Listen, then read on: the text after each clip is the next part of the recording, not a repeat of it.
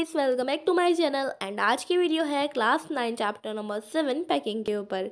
इस वीडियो में हम चैप्टर नंबर सेवन की क्वेश्चन आंसर एनसीईआरटी सॉल्यूशन को डिस्कस करेंगे, जो कि है इंग्लिश रीडर बिहाइव के बुक का चैप्टर सो एनसीईआरटी सॉल्यूशन इस वीडियो में डिस्कस हो रहे हैं। अगर आपने इस चैप्टर को नहीं समझा है एक्सप्लेन नहीं समझा है तो आप जा सकते हैं इस वीडियो के डिस्क्रिप्शन बॉक्स के अंदर। आप वहाँ से जाके, मैंने अपनी प्रीवियस वीडियो का लिंक डाल दिया है, आप वहाँ से जाके विज़िट आउट कर सकते हैं। चैप्टर नंबर सेवन के एक्सप्लेनेशन पे। So let's see the N C R T solution number one so आपकी बुक का पेज नंबर एट्टी नाइन है। फ़र्स्ट हम उसे सॉल्व कर रहे हैं, जिसमें हमें करना है थर्टी टू फोर्टी वर्ड में आंसर को solve question number one is our how many characters are there in narrative name them don't forget the dog हमें बोला जा रहा है कि करेक्टर बताने के कितने यूज़ हुए हैं।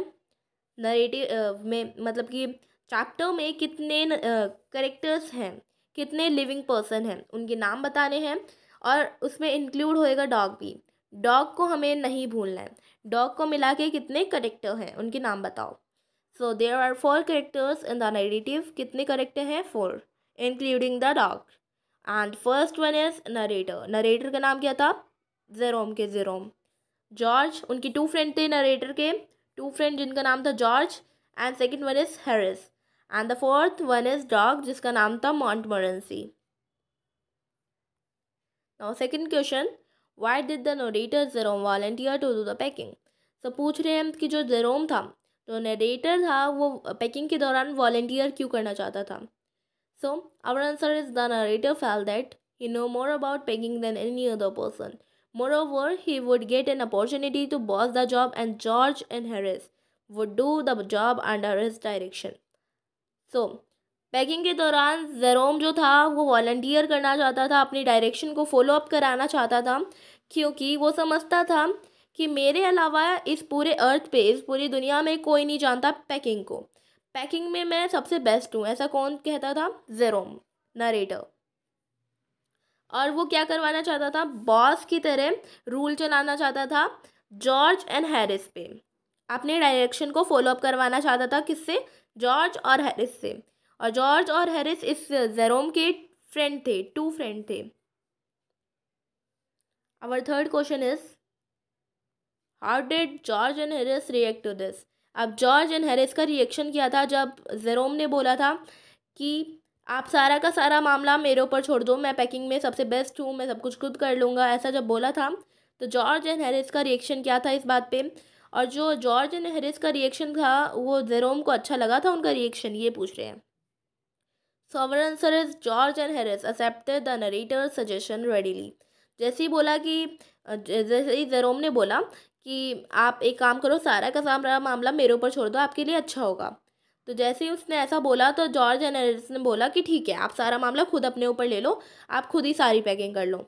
जब आप अपने आप को महान समझते हो तो आप सारा खुद कर लो, ऐसा बोला। और सारा का सारा मामला जेरोम के ऊपर छोड़ दिया। और जो ये जेरोम था, उसने इस बात को गलत समझा। उसको ये बात इरिटेट कर रही थी। वो ऐसा नहीं चाहता था कि वो बहुत ही जल्दी मान जाए उसकी बात को और सारा का सारा पैकिंग का मामला मेरे ऊपर छोड़ दे। उसने बोला तो था, बट वो ऐसा नहीं चाहता था। उसका इंटेंशन कुछ और था। Question number four what was Jerome real intention when he offer to pack जब उसने बोला तो अब इसका इंटेंशन क्या था? मैंने अभी आपको बताया था कि उसका जेरोम का कुछ और ही इंटेंशन था। अब यही पूछा है कि उसका इंटेंशन रियल इंटेंशन क्या था? वो क्या बोलना चाहता था? उस लाइन को बोल के कि आप सारा का सारा मामला मेरे ऊपर छोड़ दो बट वो कुछ और बोलना चाहता था। उसने बताया भी था कि वो क्या बोलना चाहता है चैप्टर में।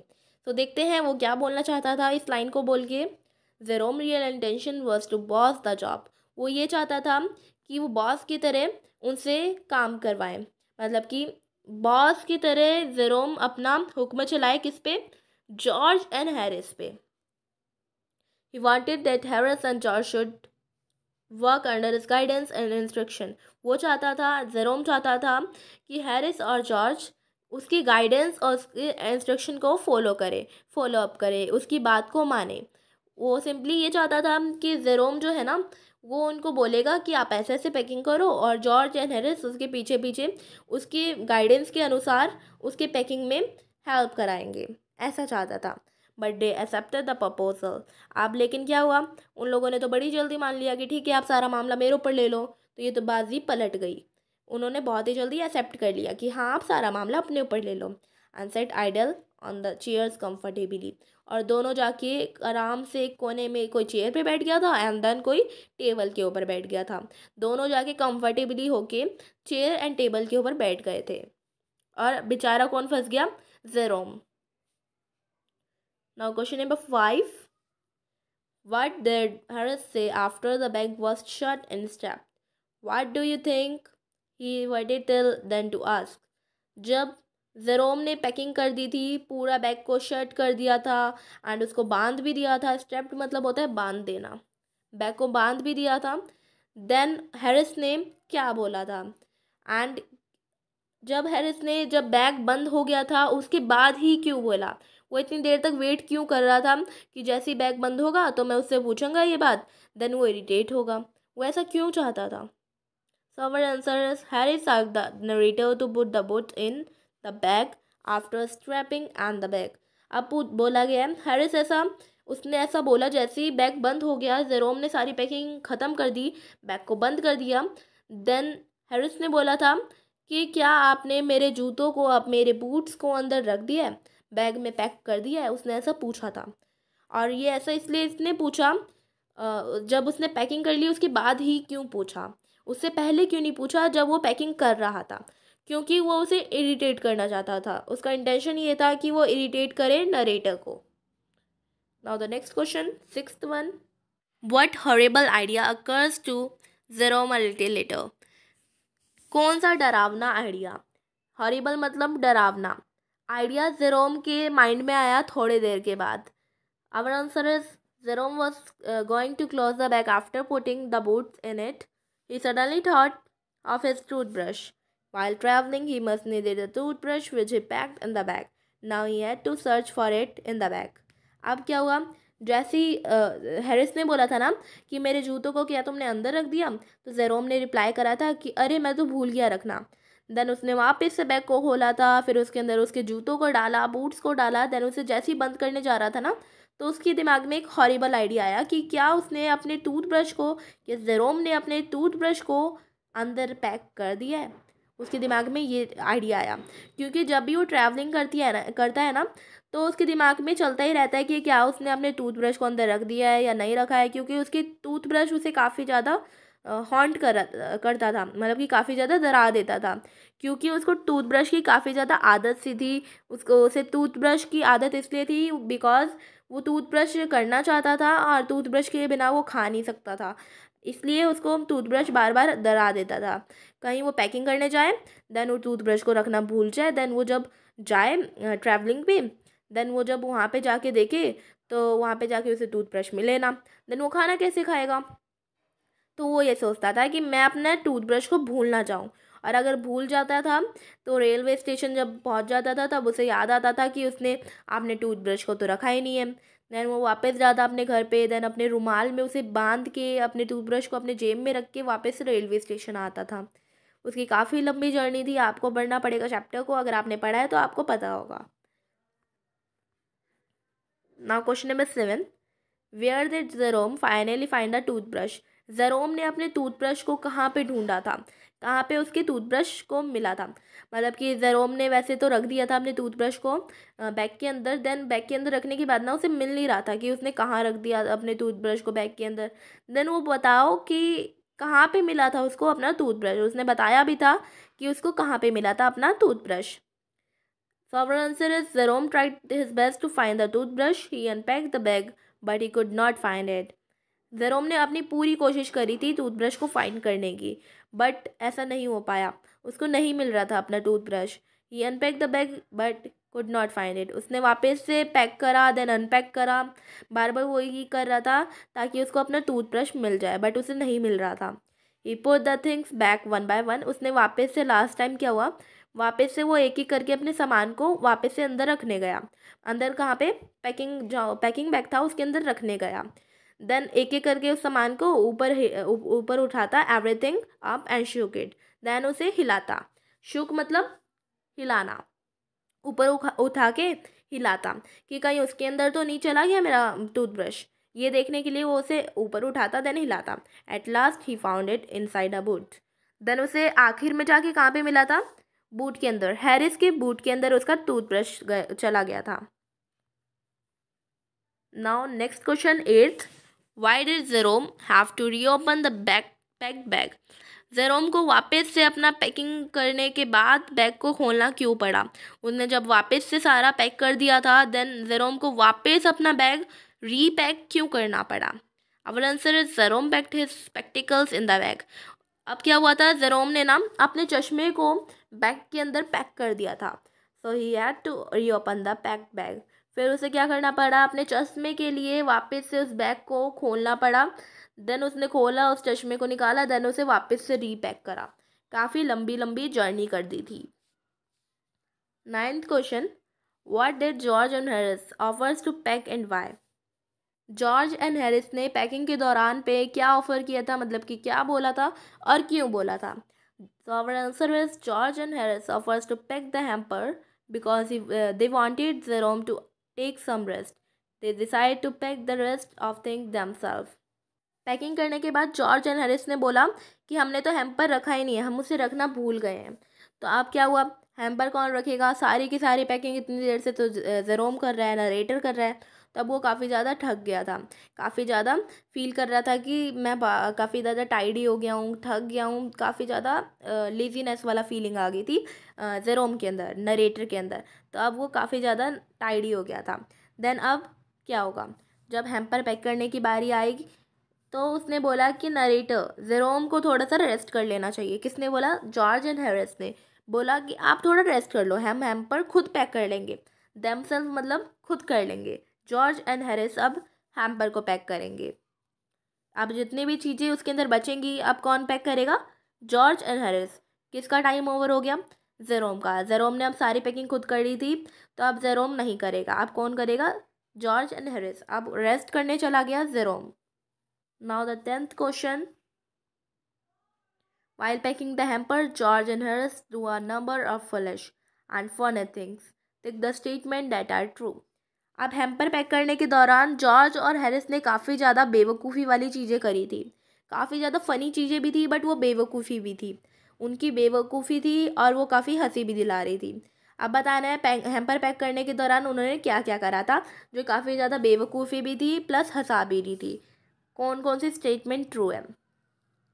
फ़र्स्ट है हमारा they started with breaking a cup उन्होंने क्या स्टार्ट करा था, जब उन्होंने हेम्पर को पैक करा था? तो उन्होंने किस से स्टार्ट करा था? एक कप को तोड़कर? क्या ये सही है? Second one is they also broke a plate उन्होंने एक प्लेट को भी तोड़ दिया था ब्रॉक कर दिया था। दे स्क्वेश्ड आ टमाटो उन्होंने टमाटो को स्क्वेश कर दिया था, मिला दिया था, मिचकार दिया था। तो मतलब कि काफ़ी ज़्यादा पिचका दिया था आप कह सकते हैं। And fourth one is they trod on butter उन्होंने बटर के ऊपर पैर रख दिया था स्टेप डाउन ट्रॉड का मीनिंग होता है स्टेप पैर रख देना। दे स्टेप ऑन अ बनाना उन्होंने बनाना के ऊपर भी पैर रख दिया था। Six they put things behind them and could not find them वो अपने पीछे उठा के चीज़ों को रख देते देन उसे भूल जाते कि उन्होंने कहाँ रखा है देन उसे फाइंड नहीं कर पाते। Seventh is they stepped on things वो काफ़ी ज़्यादा सभी सामानों पे अपने पैर रखे जा रहे थे। They pack the pictures at the top at the bottom and put everything on the top उन्होंने पिक्चर्स को नीचे रख दिया एंड भारी भारी सामानों को ऊपर रख दिया। Ninth they upset almost everything उन्होंने काफ़ी ज़्यादा सामान को ऐसे मतलब कि फैला सा दिया था, काफ़ी बसुरा मतलब कि आप बोल सकते हैं, काफ़ी ज़्यादा गंदा कर दिया था। काफ़ी अनटाइडी वे में उन्होंने काम करा।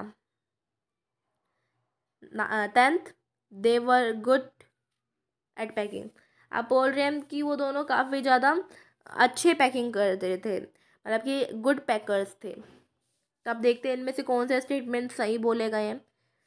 फ़र्स्ट स्टेटमेंट हमारा सही था कि उन्होंने पैकिंग के दौरान सबसे पहले क्या करा था? एक कप को तोड़ दिया था। थर्ड सही था, उन्हें उन्होंने टमाटो को स्क्वैश कर दिया था। मिचका दिया था या फिर तोड़ दिया था। तोड़ तो सकते नहीं है टमाटो को, आप बोल सकते हैं उसको काफ़ी ज़्यादा प्रेस करके दबा के फैला दिया था। फोर्थ भी ठीक है they trod on the butter उन्होंने बटर के ऊपर पैर रख दिया था। सिक्स भी ठीक है they put things behind them उन्होंने अपने चीज़ों को पीछे रख दिया दैन उसे फाइंड करने की बारी आती तो उन्हें ढूंढ नहीं पाते थे। सेवन्थ भी ठीक है कि वो बार बार सभी सामानों पे पैर रखते थे, सभी चीज़ों पे पैर रखते थे। Now our next question what does Jerome say was Montmorency ambition life what do you think of Montmorency and why Jerome ने क्या बोला था कि मोरसी का लाइफ में एम्बिशन क्या है? उसके लाइफ में गोल क्या है? वो इरादा क्या था मोरसी का अपने लाइफ में? जेरोम ने क्या बताया? एंड आप क्या सोचते हो कि माउंट बरेंसी कैसा था और क्यों था? मतलब कि उसके बारे में क्या सोचते हो और क्यों सोचते हो? Our answer is Montmorency ambition and life to get in the way he was a little dog hood you आप यहाँ से मार्क कर लेना। Little dog hood you to his mischievous nature created troubles for one वो छोटा सा little dog था, जो काफ़ी ज़्यादा आप बोल सकते हैं परेशान करता था लोगों को, जो भी काम कर रहे होते थे। देन उनके काम के बीच में अपने टांग अड़ा देता था, उनको काफ़ी ज़्यादा परेशान कर देता था, इस हद तक परेशान कर देता था कि वो उनके सर पे चीज़ें उठा के मारे मतलब कि उनको गालियाँ दे, ऐसा परेशान करता था वो लोगों को। Whenever he would get bored he would come in between the work and try to get involve जब वो जब ये माउंट मरेंसी बोर होने लगता था तो वो जाता, जो काम कर रहे कर रहे होते थे पर्सन उनके बीच में जाके उनको परेशान करने लग जाता था, ताकि वो बोर ना होए। And then he never meant trouble intentionally वो ये नहीं चाहता था कि वो लोगों के बीच में ट्रबल क्रिएट करे, परेशानी क्रिएट करे बट वो क्या करे? वो बोर होता देन वो आता देन लोगों को परेशान करता बट पीपल्स वो शाउट इट हम हिम और throw things at his head but क्या होता था, जो पीपल्स जिसको वो परेशान करता था, वो उसके ऊपर चिल्लाता, उसे गालियाँ देता और उसके सर पे कुछ ना कुछ फेंक के मारता। He would then get tired and hurt वो फिर थक जाता और काफ़ी ज़्यादा दुखी हो जाता था। उसको काफ़ी ज़्यादा चोट लग जाती थी। And would go back to his place and sat then वो अपनी जगह पे जाता और बैठ जाता वापस से। The narrator called this the fulfilment of his conceit अब जो नरेटर था वो क्या कहता कि काफ़ी ज़्यादा मतलब कि लोगों को परेशान करता उनसे, उनको उत्साहता कि वो उन्हें मारे, उनको गालियाँ दे। मतलब कि मोनमोनेंसी एक ऐसा कुत्ता था मिस्टीवियस बिहेवियर वाला कुत्ता था इरिटेट करने वाला कुत्ता था एंड काफ़ी ज़्यादा लोगों को परेशान करता था। अपने फ़ायदे के कारण। क्योंकि वो बोर होता था देन वो लोगों को परेशान करता था उसकी बोरियत ख़त्म करने के लिए। Next question discuss in groups and answer the following question in two और थ्री पैराग्राफ अब बोला है कि ग्रुप में डिस्कस करो और टू और थ्री पैराग्राफ में आंसर दो hundred to one fifty word के अंदर। First one is of the three Jerome Harris and George who do you think is the best and worst packer इन तीनों के बीच में से सबसे अच्छा पैकर और सबसे ख़राब पैकर कौन है? Support your answer with detail from the text अपने आंसर को ऐसा बनाओ कि वो काफ़ी ज़्यादा डिटेल में हो और टेक्स्ट में लिख के बताओ। Okay okay. तो मैंने आंसर लिखा है। I believe Jerome was the best packer. हम सोचते हैं कि ज़ेरोम काफ़ी अच्छा पैकर है। क्योंकि उसने इतनी प्रॉब्लम को क्रिएट नहीं करा था, जितनी कि हॉरिस और जॉर्ज ने कर दिया था। हैरिस और जॉर्ज काफ़ी ज़्यादा परेशानी को क्रिएट कर रहे थे बट ज़ेरोम ने इतनी परेशानी क्रिएट नहीं करी थी। ही पैक्ड एवरीथिंग सेमेंटुअसली अब जो जेरोम था, उसने सारे पैकिंग काफ़ी ज़्यादा अच्छे से कर दी थी बट वो कुछ ना कुछ भूल जाता था। कोई बात नहीं, उसने कुछ चीज़ें तोड़ी भी नहीं थी, ना किसी पे पैर रखा था, ना कुछ और किया था। बट जॉर्ज एंड हैरिस ने काफ़ी ज़्यादा ट्रबल मचा दी थी, काफ़ी ज़्यादा परेशानी क्रिएट कर दी थी बट ऐसा जेरोम ने नहीं किया था अपने पैकिंग के दौरान। But the only issue was he forgot about the items he packed and where he keep them उसका सिर्फ़ एक ही इशू था कि वो सामान को रख के भूल जाता था देन उसे फाइंड नहीं कर पाता था। बाकी वो कुछ भी नहीं कर रहा था। He took time packing but the job was done well Harris and George were messed up Harris और जॉर्ज काफ़ी ज़्यादा सामान को फैला देते थे, उनको क्रिएट कर दे, गंदा क्रिएट कर देते थे। काफ़ी ज़्यादा मिस्टीवियस बिहेवियर वो भी कर रहे थे। Harris squashed the tomato by placing them over the strawberryism and the butter was wasted because of their carelessness Harris और जॉर्ज ने क्या करा था? टमाटो को स्क्वेश कर दिया था। देन स्ट्रॉबेरी जैम को क्या करा था? टमाटो के ऊपर रख दिया था। और बटर के ऊपर काफ़ी ज़्यादा पैर रख दिया था। देन उसे वेस्ट कर रहे थे। बटर को वेस्ट कर रहे थे। क्योंकि ये सब उनकी केयरलेसनेस की वजह से हुआ था। काफ़ी ज़्यादा आलसीपन उनके अंदर भरा हुआ था। Next question how did Montmorency contribute to the packing Montmorency का कॉन्ट्रीब्यूशन बताओ पैकिंग के दौरान। Montmorency was a joyful dog and he loved creating trouble. Montmorency काफ़ी ज़्यादा enjoyable और जॉयफुल डॉग था और वो पसंद करता था कि लोगों के बीच में वो ट्रबल क्रिएट करे, परेशानी को क्रिएट करे, जो भी उसके अराउंड थे, उसके आसपास थे। He made the job more tiresome for everyone वो काफ़ी ज़्यादा लोगों को ट्रायरिज्म मतलब कि काफ़ी ज़्यादा टायर्ड कर देता था और काफ़ी ज़्यादा परेशान, उत्साह देता था कि उसे मारे। He sat on the things that were meant to be packed जब ये पैकिंग करने की कोई चीज़ के ऊपर बैठ जाता था देन जब पैकिंग करने की बारी आती उस सामान की तो उसके ऊपर से उठना, उठता नहीं था। और जब उसे मार खाना पड़ता, तब वो जाके उसके ऊपर से उठता था। He played with the lemons and got into the हेम अब क्या होता है वो ना लेमन्स के साथ खेलने लग गया था। लेमन के साथ कैसे खेलता था? लेमन को वो रेड समझ लेता था, चूहा समझता था देन उसे मारता था। किसके अंदर जाके? हेम्पर के अंदर जाके। He act to kill three of them then उसने तीन लेमन को चूहे समझ के मार भी दिया था। He try to create trouble when he would notice everyone around him busy जब उसके आसपास के लोग बिज़ी हो जाते थे तो वो क्रिएट करना चाहता था ट्रबल को, परेशानी को बढ़ाना चाहता था, जब आसपास के लोग बिज़ी होते थे। The narrator called his act the fulfilment of conscious narrator ने क्या बोला कि उसकी जो एक्ट है, वो जो ऐसे काम करता है, वो काफ़ी ज़्यादा मिस्टीवियसनेस है, काफ़ी ज़्यादा इरीटेट करने वाली सामान चीज़ें हैं। मतलब कि मॉन्ट मोरेंसी एक तरीके से पागल कुत्ता समझता था narrator Jerome okay next question do you find this story funny क्या तुम्हें ये स्टोरी फ़नी लगी? हंसाने वाली लगी? What are the humorous element in it इसके अंदर कितने सारे एलिमेंट थे, उसे बताओ। Pick out at at least three तीन को पिक आउट करो। ओनली थ्री सामान बताने को बोले हैं, जो इस स्टोरी के अंदर यूज़ हुए हैं। थिंक अबाउट वट हैपन बता, सोचो कि क्या हुआ होगा। As well as how it is described okay हम डिस्क्राइब भी कर देंगे। हमने बोला yes this story is a funny one ये काफ़ी ज़्यादा स्टोरी फ़नी थी, क्योंकि वो काफ़ी ज़्यादा मिस्टीवियस बिहेवियर था, काफ़ी ज़्यादा लड़ भी रहे थे, काफ़ी कुछ हो रहा था। The mess that is created when the friend pack for the trip is amazing to watch जब वो पैकिंग कर रहे थे, उनकी फ्रेंड पैकिंग कर रहे थे जॉर्ज हेनरिस उनकी पैकिंग के दौरान हमें काफ़ी ज़्यादा अच्छा लगा। मतलब कि काफ़ी ज़्यादा वो परेशानी को ट्रबल को क्रिएट कर रहे थे ना तो हमें ये देख के काफ़ी अच्छा लगा। The first humorous incident is when the whole matter of packing is left the shoulder of Jerome when all the wanted to do was to supervise the work. जब जेरोम चाहता था कि वो सुपरवाइज करे अपने वर्क को, अपने work को बॉस की तरह हैंडल करे बट क्या हुआ कि हैरिस एंड जॉर्ज ने बहुत जल्दी बोल दिया कि आप सारी पैकिंग अपने ऊपर ले लो और खुद ही कर लो सारी पैकिंग जैसे ही उन्होंने ये बोला तो हमें ये देख के काफ़ी अच्छा लगा। मतलब कि हँसी आई। The second one is when Harris sat on the butter जब हैरिस ने अपने पैर रख दिए थे बटर के ऊपर, ये काफ़ी अच्छा लगा मतलब कि फ़नी हुआ था हमारे लिए। Placed on the chair by George और उसी के ऊपर जॉर्ज चेयर पे भी बैठ गया था। They walk around the whole room to search for packing उन्होंने पूरा रूम को छान मारा था, ढूंढा था पैकिंग करने के लिए। Which was finally discovered on Harris bag और वो कहाँ पे मिला था देन हैरिस के पीछे। the third moment third moment bola is when montmorency scream is when he want to someone stumble over him. जब मॉन्टमोरेंसी काफ़ी ज़्यादा लोगों को परेशान कर रहा था इरिटेट कर रहा था थर्ड वन हमें वो अच्छा लगा था।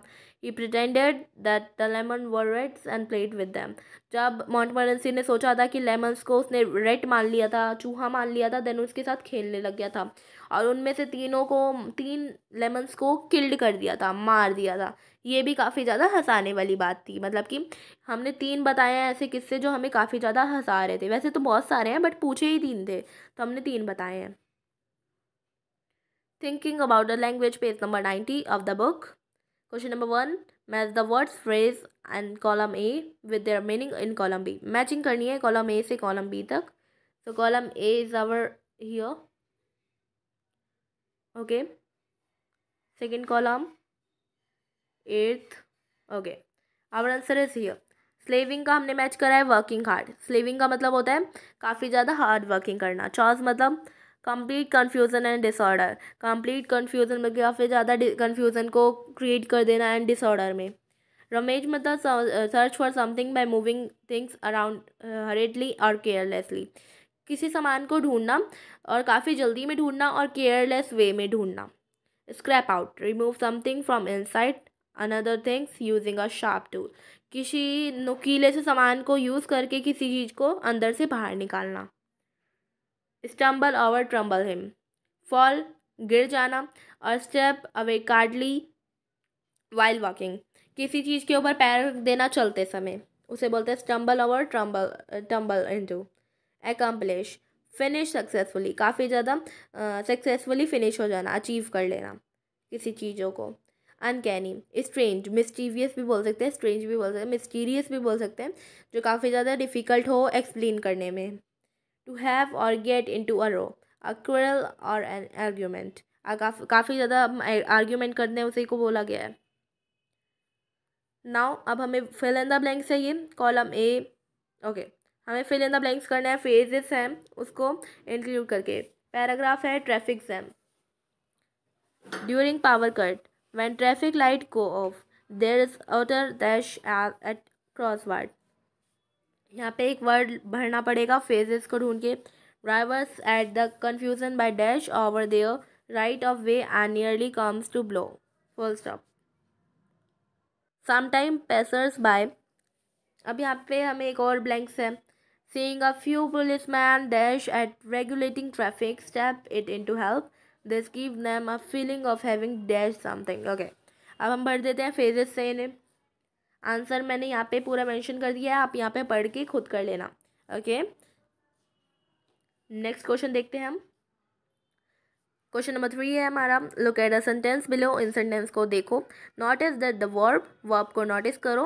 Are the all in their bare form ये सारे करेक्ट हैं या नहीं, ये सब मतलब कि बताना है हमें।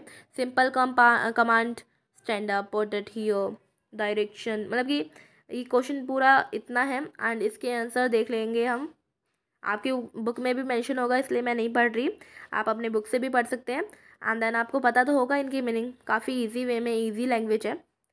इंग्रेडिएंट ओके ओके सो यहाँ से रियल क्वेश्चन शुरू हो रहे हैं। To command to your partner अपने कमांड दो, अपने पार्टनर को दो कमांड दो। सिट डाउन स्टैंड अप बैठ जाओ और खड़े हो जाओ। Two dos and two don'ts to a new student in your class okay new student को कैसे करेंगे? Okay. Submit your work regularly हम बोलेंगे, जल्दी सबमिट अपना काम को रेगुलरली सबमिट कर देना। आज टीचर फॉर हेल्प अपने टीचर से पूछो हेल्प के लिए। आस्क मतलब पूछना। Don't avoid using vulgar words and being rude to anyone avoid करो किसी चीज़ वर्ड को वुलगर करना एंड देन रूड मतलब कि काफ़ी ज़्यादा गुस्से में आ जाना किसी के साथ, ये भी अवॉइड करना है। Avoid bringing electronic to class electronic मतलब कि जिसमें इलेक्ट्रिक की ज़रूरत हो, ऐसी सामान को लाना क्लास में अवॉइड करो। ये दोनों अवॉइड के लिए है और ये दोनों करना है। डॉस मतलब मतलब डस मतलब करना। मतलब कि इसको फॉलो करना है और इसको अवॉइड करना है।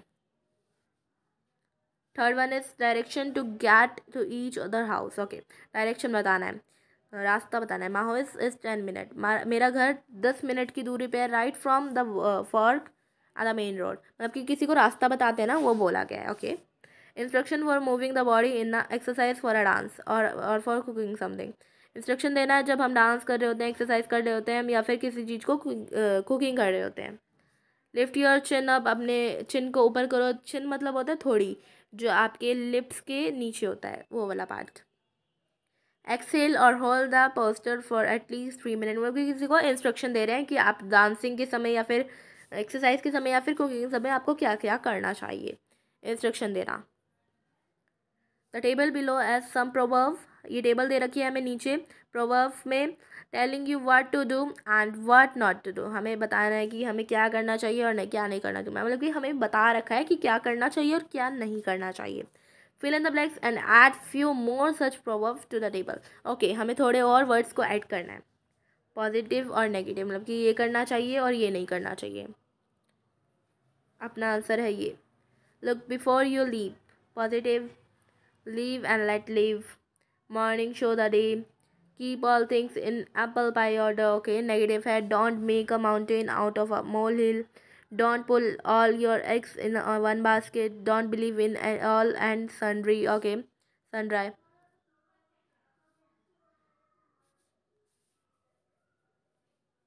keep all thing in okay ये तो हो गया ना?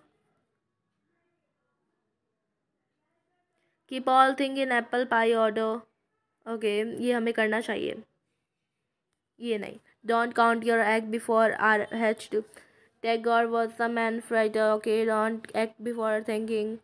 Uh, Gandhi died in harness. Don't keep your father as a dark in the dark. Okay. अब ये राइटिंग के ऊपर है कुछ पेज नंबर नाइन्टी टू पे क्वेश्चन है okay first pack all everything especially the ones that you don't need right away then pack delicate crockery pack it in bubbles wrap Our newspaper to avoid uh, breakage. Try to pack all the upholstery uh, together in a accessible way. This help you uh, won't have to go through everything to find them. मतलब कि आपको एक paragraph लिखना था तो मैंने यहाँ पे आंसर दे दिया है आप यहाँ से नोट डाउन कर लेना मतलब कि आपको ये याद करना ज़रूरी नहीं है ये ऐसा कुछ आता नहीं है क्वेश्चन पेपर में बट फिर भी ये आपकी बुक में था इसलिए मैंने सॉल्व करके दिखा दिया है ऐसी कुछ नहीं है कि आएगा आपकी बुक में तो यहीं तक थे आपकी बुक में क्वेश्चन, मैंने कंप्लीट करा दिए हैं। आप यहाँ से नोट डाउन कर सकते हैं और मैंने क्वेश्चन ऐसे को समझा दिया है एक्सप्लेन कर दिया है अच्छे से। आप वहाँ से भी समझ सकते हैं ओके सो आज की वीडियो यहीं तक। अब मिलती हूँ मैं आपसे अपनी नेक्स्ट वीडियो में। तब तक के लिए thank you so much for watching my video